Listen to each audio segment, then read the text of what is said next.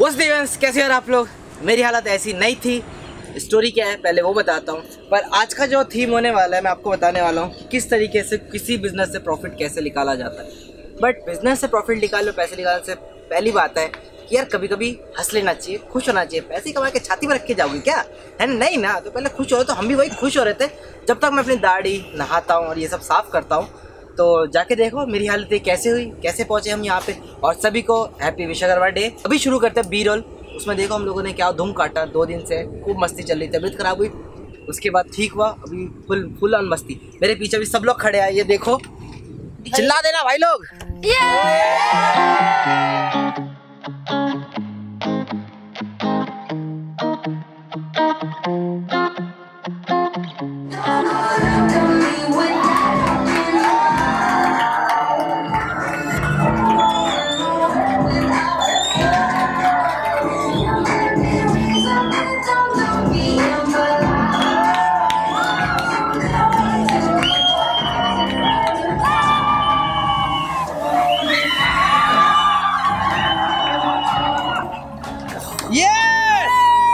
तो लो जी, मैं साफ़ सुथरा होके आ गया और नहा धो भी लिया, बाल वाल भी कटवा लिए, हेयर कर गाड़ी गाड़ी की ट्रिमिंग करा ली। तो जैसे कि मैंने आप लोगों को बताया था कि किसी बिज़नेस को एक सक्सेसफुल बनाने के उससे प्रॉफिट निकालने के लिए क्या क्या प्रिंसिपल ज़रूरी थे, जो बड़े बड़े लोग करते हैं। और कहीं ना कहीं मैंने बुक और वीडियो से देखने के बाद अपने को भी कंपेयर किया कि हाँ मैंने भी ये सब चीज़ें करी थी। करेक्ट पता नहीं था कौन सी मैंने वो सिर्फ़ करी और जब मुझे पता चला कंपेयर किया कि हाँ आई विश ये सब चीज़ें मुझे पहले पता होती। इस वीडियो की काफ़ी सारी रिक्वेस्ट आई थी कि देव भाई, आपने सारा मटेरियल दिखा दिया कहाँ से लेना है, क्या लेना है। बट मेरे को पता नहीं बिज़नेस स्टार्ट कैसे करना है। तो कुछ ऐसा था। देव भाई, मेरे को पता नहीं है, मेरे को कैसे स्टार्ट करना है। मुझे बहुत सारे क्वेश्चन आ रहे बिज़नेस मेरे को पढ़ाई छोड़नी पड़ जाएगी। मैं स्टूडेंट हूँ बट मेरे को इसमें बहुत ज़्यादा प्रॉफिट दिख रहा है। प्रॉफिट दिख रहा है तो मेरे को स्टार्ट भी करना है। ये सारे क्वेश्चन था? आपके कॉमन थे।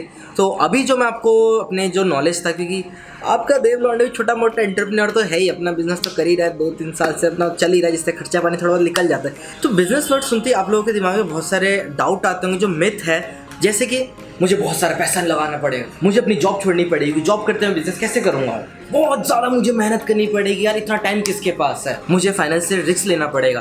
तो ऐसे बहुत सारे क्वेश्चन आपके दिमाग में भी आता होगा बट बहुत सारे जो बिजनेसमैन है और जो बहुत सक्सेसफुल है और एज अ मेरी एक्सपीरियंस से भी, ये सब सच नहीं है।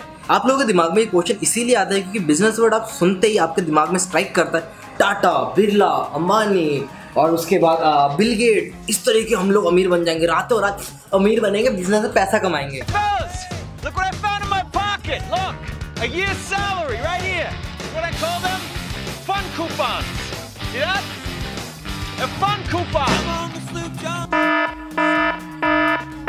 बट अगर सही मायने में मैं बताऊँ, आप अगर बिज़नेस स्टार्ट करना चाहते हो स्टार्टिंग में सिर्फ़ ये सोचो कि एक साइड बिज़नेस स्टार्ट करूँ जो मुझे थोड़ा सा प्रॉफिट निकाल के दे और जो इसे मुझे एक्सटेंड करने में या मुझे चलाने में ईजी हो। ना मुझे उसके लिए अपनी जॉब छोड़नी पड़े या पढ़ाई छोड़नी पड़े, ना ही मुझे उसके लिए फाइनेंशियल रिस्क लेना पड़े।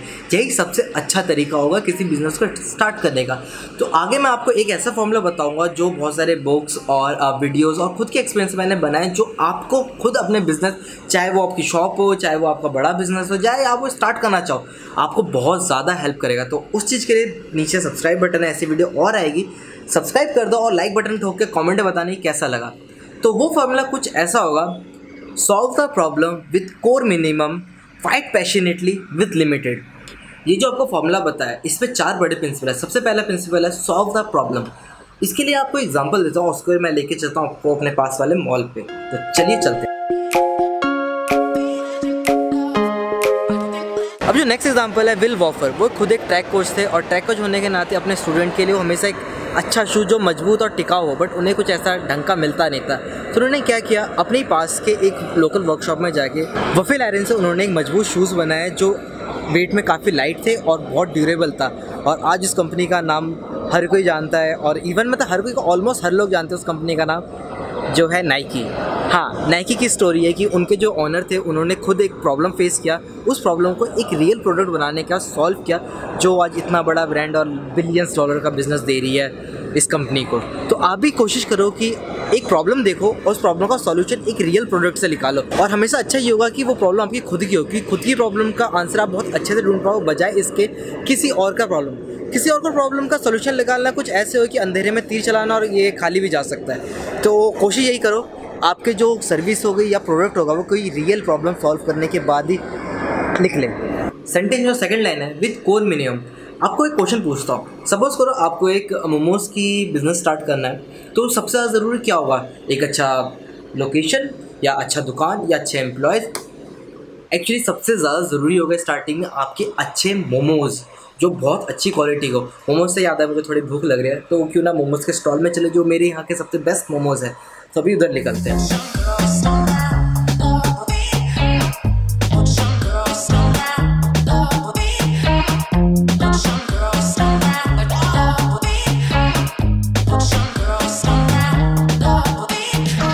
ज़्यादातर बिज़नेस फेल होने का रीज़न ही ये है क्योंकि वो स्टार्टिंग में ही अपने जो कोर से हट के दूसरी चीज़ों में फोकस करते हैं। अपना टाइम किसी और चीज़ में लगाते हैं, जो पैसा लिमिटेड होता है, वो दूसरी चीज़ों में वेस्ट करते हैं, बजाय कि अपने कोर को स्ट्रॉन्ग करने में या वहाँ पर उस चीज़ को लगाने पर आपको अपना एग्ज़ाम्पल देता हूँ। बैक इन टू जब मैंने डिजिटल मार्केटिंग का कोर्स ख़त्म किया था और मुझे वेबसाइट बनानी आ गई थी, तब मुझे लोगों के लिए वेबसाइट बनाता तब मैं ये सोच सकता था कि मैं एक अच्छा ऑफ़िस लेता हूँ या फिर किसी एक एम्प्लॉय को हायर करता हूँ जो मेरे लिए लोगों के पास जाके मेरे लिए लीड जनरेट करेगा या किसी कस्टमर केयर सपोर्ट टीम बनाता हूँ जो मेरे लिए उनके क्लाइंट के हैंडल करेगी।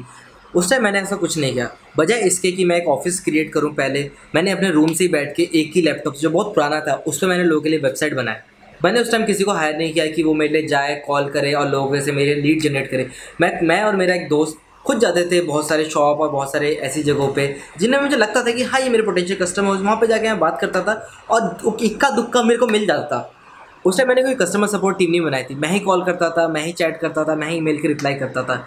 ऐसे ही आपको भी करना चाहिए। मस्ट हैव चीज़ों पे फोकस करो, ना कि नाइस टू हैव चीज़ों में। हाँ मैं उस टाइम थोड़े बहुत क्लाइंट होने के बाद मैं शेयर्ड ऑफ़िस ले सकता था, या एक अच्छा ऑफ़िस बना सकता था। मैंने नहीं किया। मेरे पास अच्छे कंप्यूटर में ले सकता था उस टाइम नहीं किया। मैं एक टीम को हायर कर सकता, जो मेरे लिए जाती, लोगों के पास मेरे लिए क्लाइंट लाती, या मेरे लिए कोई डिज़ाइन करता। पर उस टाइम ये चीज़ नहीं किया। ऑब्वियसली बात है, आपको बहुत लोग कंजूस बोले कि ये भाई तेरे पास पैसा आ रहा है, तू कंजूस है, तू ये चीज़ यूज़ नहीं कर रहा, अभी भी ऐसा कर रहा है। मैं आज ही मेट्रो या स्कूटी यूज़ करता रहता है, मैं अपनी गाड़ी यूज़ करने क्योंकि गाड़ी गाड़ियाँ, पेट्रोल का खर्चा ज़्यादा आता है। इस चक्कर में मेरे घर वाले बोलते हैं तो बहुत कंजूस है, बट ऐसा कुछ नहीं है। आप हमेशा इस चीज़ में फोकस करो कि क्या चीज़ ज़रूरी है। मेरे वहाँ पहुँचना ज़रूरी है।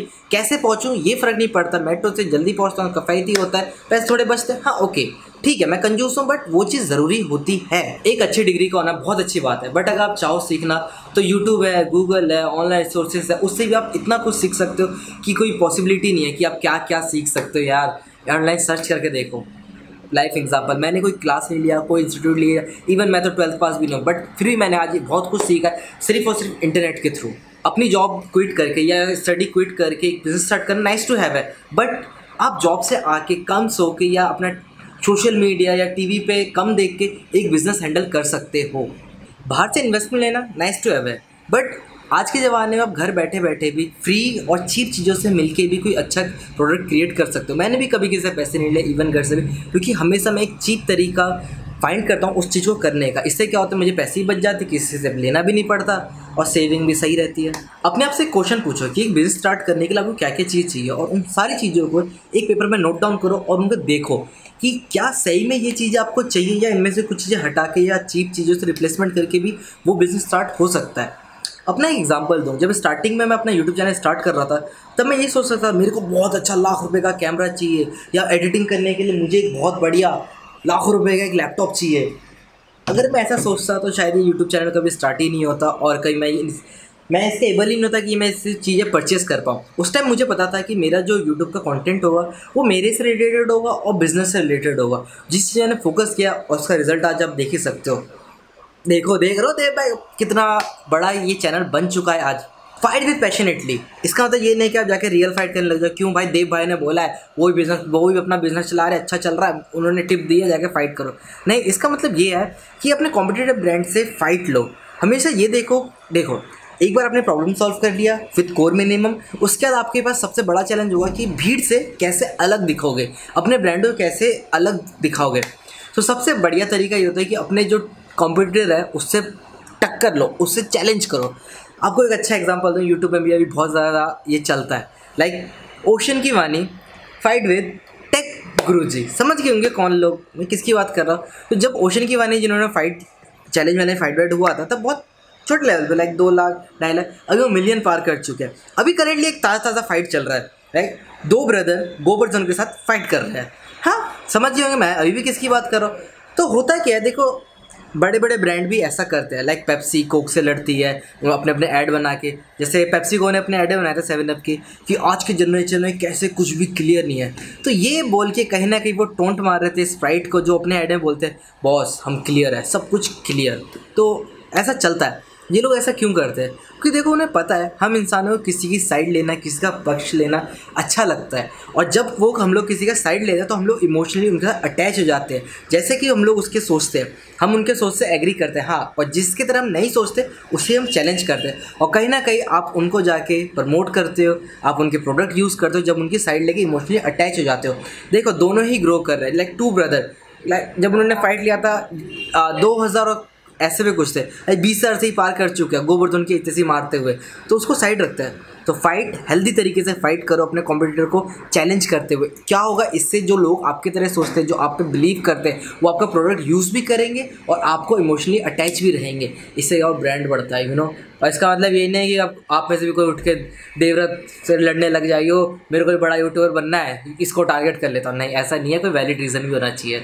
अब लास्ट पॉइंट जो हमारा है विथ लेस एक एग्जांपल लेके आपको समझाऊं।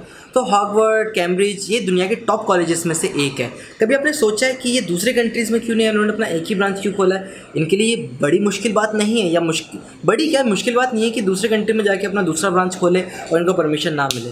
बट ये जानते हैं, अगर ये दूसरे ब्रांच अपने ओपन करेंगे तो जो क्वालिटी आज ये मेंटेन कर रहे हैं अपने कंट्री अपने उस यूनिवर्सिटी में, ये वहाँ पर डिलीवर नहीं कर पाएँगे। इससे क्या होगा? उनका नाम खराब होगा ब्रांड बिगड़ेगा। और यही गलती ज़्यादातर बिजनेसमैन और ज़्यादातर शॉप वाले करते हैं। अगर उनका कॉम्पिटिटर ने एक फीचर दिया उसमें, वो लोग दो देते हैं। अगर उसने मेन्यू में एक चीज़ ऐड करी है, वो चार चीज़ ऐड करते हैं अगर उसने तीन चीज़ दिया है, उन्हें वो पाँच चीज़ ऑफ़र करते हैं। और जो बिल्कुल ही मतलब बेवकूफ़ी होगी, इससे उनकी क्वालिटी घटती है और एक बार जब कस्टमर के आगे क्वालिटी का ख़राब होता है, वो दोबारा वापस नहीं आता।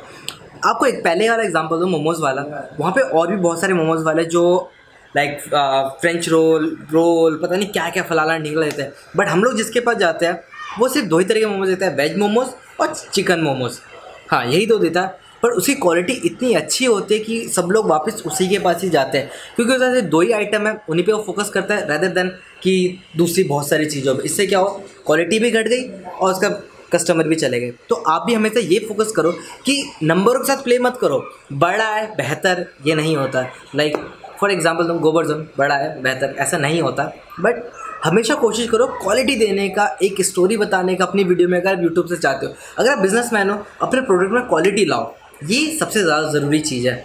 तो ये वो चार प्रिंसिपल थे जो बुक्स और वीडियोस और अपने वाले से मैंने आपको बताया आई होप ये आपको समझ आई हो। समझ आई तो लाइक करके बताना और कमेंट डाउन में बताना कि कौन से पेंसिल आपको सबसे सही लगा और कौन सा एग्जांपल सबसे बढ़िया था। अगर कोई क्वेश्चन है तो मेरे को इंस्टाग्राम पे फॉलो कर सकता है जाके। फेसबुक इंस्टाग्राम ट्विटर पर कहीं भी कर सकता है। मैं हर जगह हूँ। जाओ यार, जाके इन्जॉय करो। और सॉरी थोड़ा लेट वीडियो आ रहा है, क्योंकि मैं दूसरे काम में हूँ और थोड़ा यूट्यूब से भी मन हट रहा है, ये भी रीज़न है। बट यार, प्यार बहुत है लास्ट वीडियो में कमेंट देख के दिल खुश हो गया, इसलिए दिवाली वीडियो दोबारा बनाए तो उन सब लोगों के लिए थैंक यू सो मच जिन्होंने इतने अच्छे अच्छे कमेंट करे।